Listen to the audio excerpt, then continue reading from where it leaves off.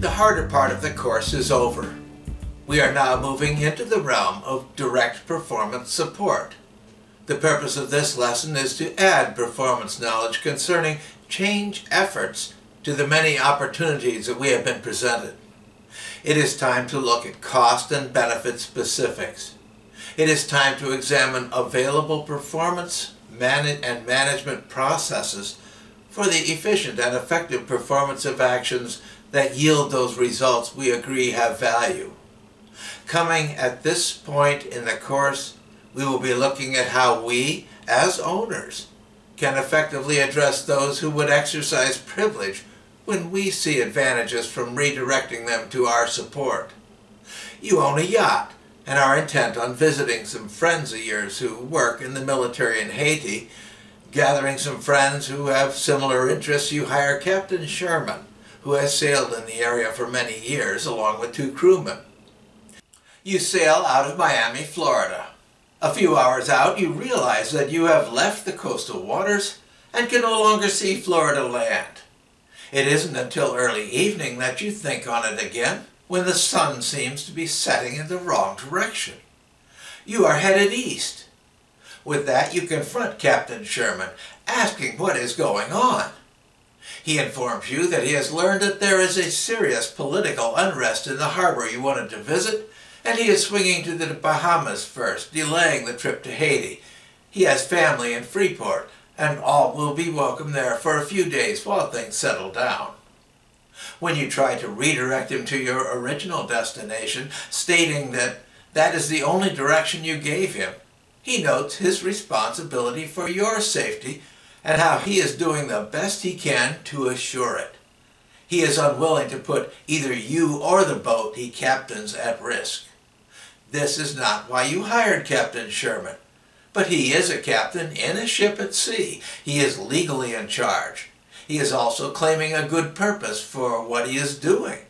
And it is very much within his responsibility to see to your safety. That is obviously within his authority over the boat at sea. You, on the other hand, are not that competent a sailor and are not comfortable taking over the duties of running the ship to your own purpose. It is just that you have no particular purpose to be in the Bahamas and it is your boat that is being redirected to a purpose other than the one you set on the voyage. In this lesson, we are addressing options. True to the purpose of performance, we will be looking at your personal options, each with its own costs and benefits. You have options. You can attempt to fire captain, and immediately assume command on your own, even if you are not fully qualified to continue the initial voyage. You can wait until you reach Freeport and terminate the captain there, seeking another captain who is more interested in what you direct. You can accept the captain's authority and responsibility and let him continue in what he presents as a best option. The first, just terminating the captain, borders on mutiny, and would mount some threat to the boat as well as the voyage. This is a significant cost, not only immediately, but with future threat of cost if the captain takes the matter up legally. The second demonstrates the displeasure you have with that captain, did what he and what he did without consulting you as both the owner and customer of the captain's efforts. But by the time you reach Freeport, the damage has already been done, and there is no further reason to change captains. That too has consequences. The third has the problem of advertising yourself as a victim of whatever the captain decides to do. What happens when he decides to visit friends in Cuba or heads further south, just carrying you along? And then there is the question of whether the captain is really seeing to his own personal interests at your expense. This is like that general challenge we face as citizens of the United States. The captain at sea has authority to operate the craft, including authority to redirect it to see to the welfare of passengers. He has a duty to preserve the boat and protect those aboard. Public leadership has been granted effective authority to operate our government and to redirect it to see to our welfare. The challenge and source of frustration is that we are the owners and we issued instructions to leadership that have been effectively set aside with the admonition that the leadership is seeing to our best interests. Our public leaders seem to benefit greatly from their public employment. Are they seeing to their own personal interests at our expense? The difference is interesting that our nation is a not really a ship at sea, nor did we direct it into some dangerous waters. Our leaders seem to be protecting us from dangers that only they really see. In some ways, it even seems to be dangers that they are promoting so that they can stay in authority. What seems most dangerous is where the leadership has been directing us to go as a nation. What our study of performance has done to this point is to indicate direction for resolving the situation. We, the people, are the effective owner of the nation. We are also the only real customer for government, the ones who get to evaluate what our government would provide and deliver to us. We are the only real party in interest. I am now able to present the challenge we face in a new way. What we can see is that we have a bully for a government. We have a government that is perfectly willing to threaten or damage people who do not do what leadership decides to direct us to do. Could it really be that simple? You, I need to write my essay, and I, you better do a good job of it. How's this? You will send your children to our school for us to teach them what we feel they should know or we will send our police after you and haul you in front of our judges to answer for your failure to comply. Then again, give me your lunch money or expect a beating. You are going to pay taxes for whatever we decide to do. You don't have to like it. The purpose for this course is your empowerment. It is not based on resisting or even overcoming the bully. It is based on accomplishing what you value. As we noted at the beginning, the bully doesn't even have something to accomplish. The very purpose of bullying is to establish dominance, to rule over someone else. Bullying is to proclaim oneself the winner at the expense of losers. If our effort is simply to overcome the bully, then we are the ones who will accomplish nothing. It is the conflict that damages performance, not focus on who is in authority to run things. To put this into our boat example, it is getting to the intended destination that has value, not somehow beating the captain into submission. For performance, it is all about the result. Being in authority may help one feel powerful, but it accomplishes nothing as a result. We have a political government that acts to prevent us from getting where we want to go. Our purpose is a more perfect union. It is justice, domestic tranquility, common defense, general welfare, and personal liberty. It is not like this is some strange and esoteric wish list that we hope to give purpose to our leadership. These purposes are written right into the instructions we gave to our leaders in our constituting document. What we are addressing in this lesson is the very purpose for which our national government was granted existence, and to which purpose every public employee is compelled to take an oath. What we are looking at here is our insistence that our leaders, who we authorize to receive pay for services, actually do what we instructed them to do and which they took an oath promising that they would do. Even beyond this, it is a requirement to do what they know they should be doing, and it is obviously beneficial to them and their families, even as it is to us.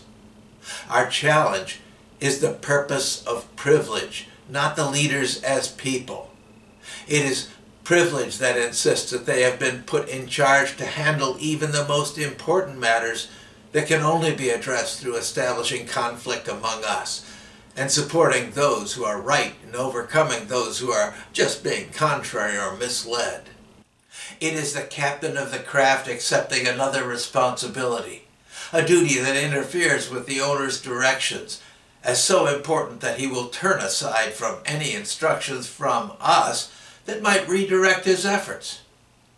Empowerment does not come from assuming authority over the captain or from firing and replacing him.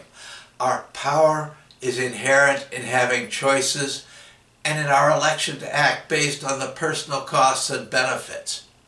Our potency begins with being in charge of ourselves and what we do, and recognizing when and where there are others who can share in our priorities. You are empowered by stepping into ownership over your nation. You are empowered when it is you who decide what you will and will not do. It is you who are empowered when you look for the common costs and values that can bring you together with others to team on what you would all accomplish. As a basis for our action, we have ownership of our nation and ownership of the government in which our leaders have their authority.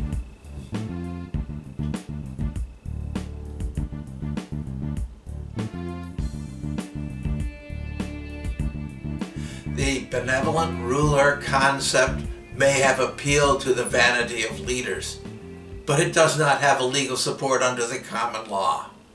Our elected leadership is not like parents of children.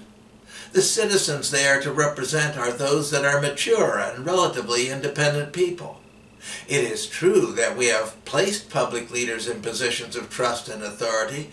This was not authorization to become bullies. It was hiring them to perform the duties of the government as we gave it form and instruction.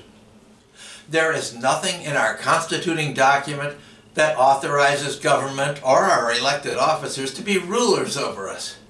The very fact that it is created by our agreement denies that it could have greater authority than we have. We could not give it greater authority by our agreement. Being the owner and the source of government, we are also the only party in interest. Indeed, our purposes for initiating this government are set forth and listed in the preamble. It does not support the leadership as bully. It does not authorize doing the right things on our behalf. It only authorizes seeing to the purposes stated in the document. Our leaders are set into offices, hired for pay, for those set purposes. And under the laws addressing their employment by our government, they are subject to the common law area we call master and servant. We are the ones who hire these leaders. They're legal masters.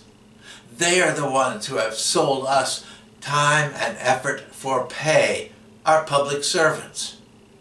The master-servant relationship is just strengthened by this being a representative republic. Those leaders are to service we the people, and it is initially in accord with the stated purposes for which we created our government. This brings us to the conflict between what government has done in our name and what it was directed to do in the instructions we issued to it.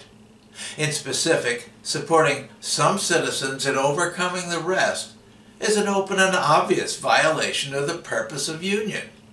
Taxation in its current form is public abomination, violation of the purpose of an intent we set upon this government, passing laws that are so complex voluminous and confusing that we the people cannot even understand them is a denial of representation.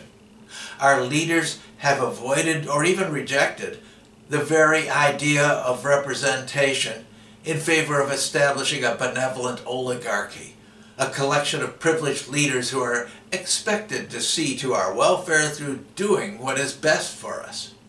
The difference between privileged leadership and agency relationships are great. The public employee, as an agent, answers to the authority of the ones they represent. The privileged leader demands that others answer to his or her authority.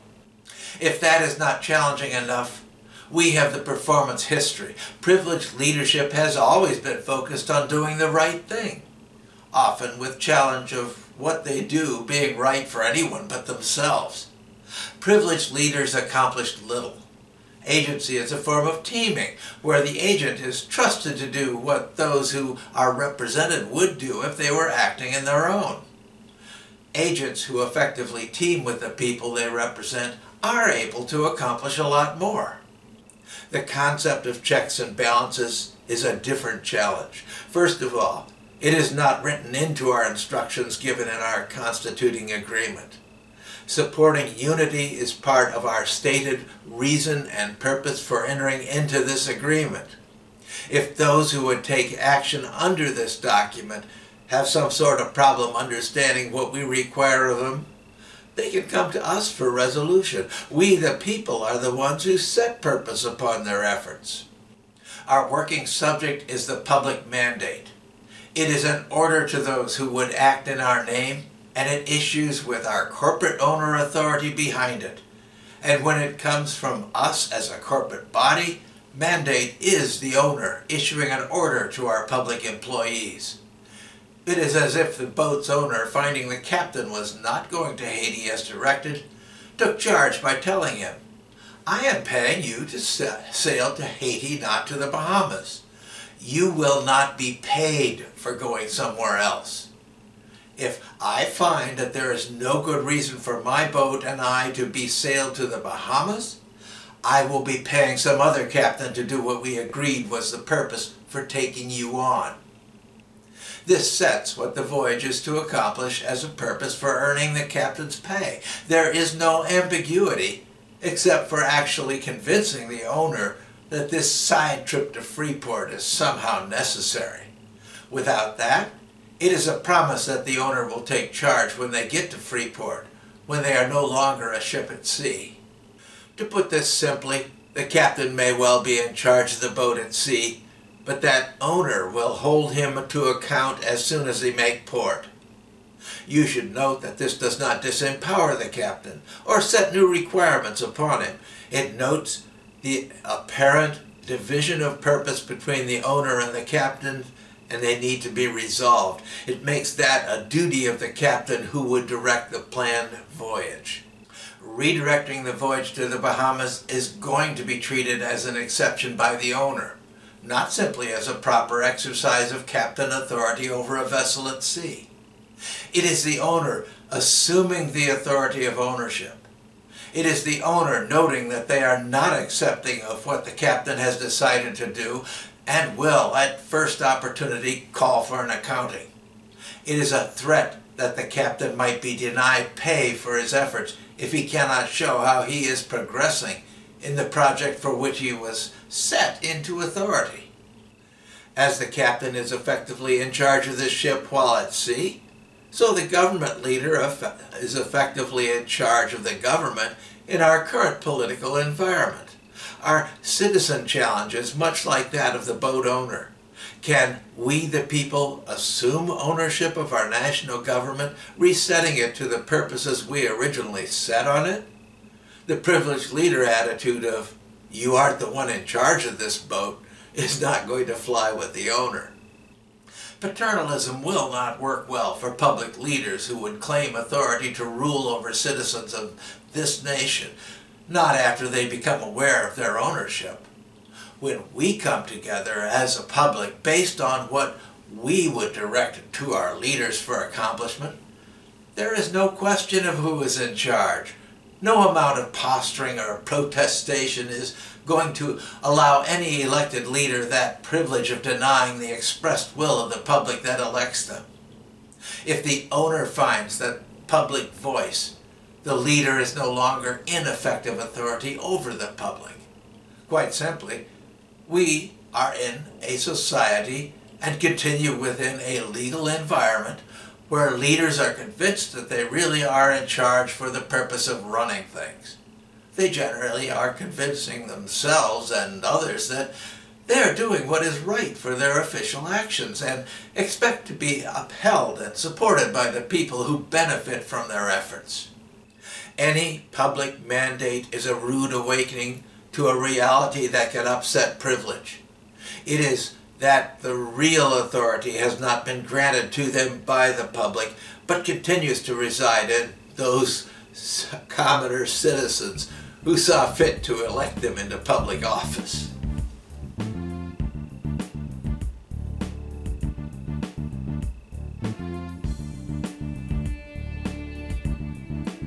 The mandate totally ignores their privileged status. It interrupts their sense of rule. It denies that they have any authority to simply ignore the public when it might disagree. It is notice that their boss has an assignment that they are expected to perform. It is a rude awakening to the truth that there is no separation between the one who represents and those who are represented. No authority to deny the public without facing severe potential consequences. The public mandate is a public order to the one who leads in the name of the public. Our challenge is this is not one of authority. When gathered, we are the only authority. It is a challenge of the public coming together based on some stated public purpose and communicating that purpose to those who will act upon it in our name. Whatever can bring us to this level of agreement is a potential for finding a mandate. It is a matter of our empowerment, our choices to seek what we, as a people, value. Much of what we have done so far in this study is establishing such potentials and working on how we can communicate the impact of waste to other people.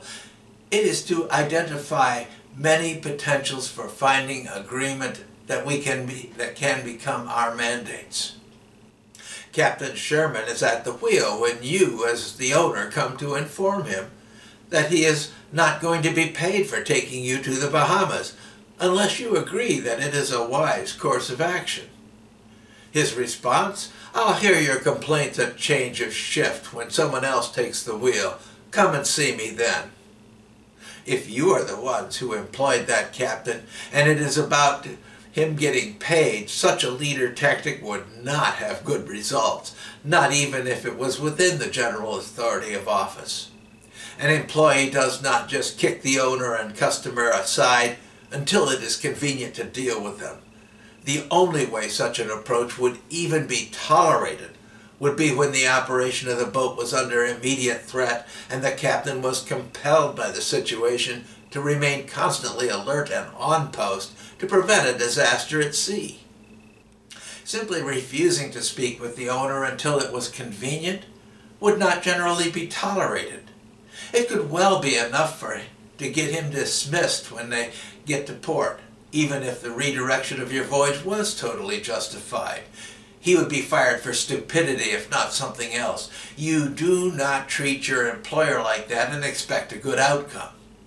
And if you, finding 85% agreement on what you would direct to your representative, come to one of his offices noting the same, will he be too busy representing you to respond?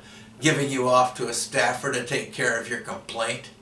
He might as well say, if I have to listen to you, it will be at my convenience. How about, see my secretary and schedule an appointment. I don't have a lot of free time right now. The culture of privilege in government runs deep as well, but not that deep the fact that you are representing the people who he is to represent is a pretty strong incentive for him to break away from other matters, denying that he works for the public can have disastrous consequences. What are disastrous results? How about the same public he so obviously disrespects contacting state-level government leaders with notice that his office, the office of the representative, has been abandoned? and giving direction to begin the process of selecting a replacement. The authority of the public is real and it does not answer to privilege. Most public officers, even those who would normally act as rulers, know better than to just shove the voting public aside. The claim of almost universal agreement on a matter is a claim to be the voice of the public. To put it simply, the people are not only the owner, but also the only real customer of government. Any contact claiming to have such an agreement behind it is a rude interruption of privilege. no matter how sure the one in office is on authority of the office, the reality is still that the people are the only real party in interest, as well as the source of all public authority. It is the owner calling on the employee who is hired into authority. A representative who acts otherwise may well pay a stiff price for telling the owner that their employee is simply too busy to see them. Even the most privileged employee will not be telling their boss that he has to make an appointment if he wants a meeting. It is more likely that the boss is going to tell the employee when he has an opening to meet and direct him to be there. While it is true that there is a cultural urge to have rulers act to the contrary, it is very much recognized that there are practical limits in the authority of governance the general belief that the public cannot ever come together to any real effect is recognized as a belief only. There is also the very real threat that the impossible has been accomplished and it behooves the leader to examine the situation in case the impossible really has happened. Gee, Mr. Citizen, we let you have the vote. What do you want now? Unfortunate as it may be, that attitude both we and our leaders are taught to expect. Whenever and wherever we find agreement, our voice as a public, we are outside of that cultural norm. That in itself can be quite troubling to our ruling leadership. What does the congressman do when he gets notification that his public has agreed upon his being their financial agent in government and that a body of concerned citizens intends to meet on a particular evening at one of the local churches to discuss implementation. It notes the basis for agreement and that they need him to be there to help plan the required changes. First of all, anything that can gain that level of agreement in the public is not going to be a surprise to the leader. He or she is part of that same public and has family that is also part of that same public. This is not so much a request as a summons for him to attend. If he wants to assure that he continues in authority, he takes the effort to be there. It is up to the one with real authority to pick when and where and how to meet with the one whom they employ. It is not a matter of convenience for the representative. Coming to that meeting to receive an assignment is part of being an employee. The one who is truly in authority can pick when and where the employee is to receive an assignment. There is the matter of courtesy by the public toward the one who represents them. But it is at the option of the people, not at the convenience of the representative the representative can suggest some other time and meeting place, but it is up to the owner, the public, to approve any changes. That is what employment is about.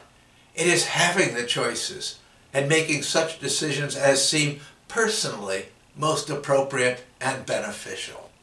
And yes, with this lesson we are stepping more fully into personal empowerment it just starts with realization of the true nature of agency and vision on where the decision authority actually lies. Our next lesson gets far more personal. We have been addressing where benefits or the removal of costs have potential for bringing us to agreement as a people. Our next effort will more fully address the other side of investment, that of costs that our commitment to a change effort will incur. And it is not just personal with us, it is personal with everyone who will take part in initiating that change, implementing that change, or even uh, supporting it. Even just supporting a cause that is strongly opposed by privileged leaders can come with costs. But this is a course for empowerment, and we are empowered where we have the choices and where we are able to choose when and where to commit our personal time and effort to accomplish what we value. This is the nature of performance, the nature of getting things done. First, we need to understand what has value. Then we need to see what is going, what it is going to cost if we are able to act to gain that value. And only then can we look to efficiency considerations to how we minimize what it is that is likely to cost us to gain what we value.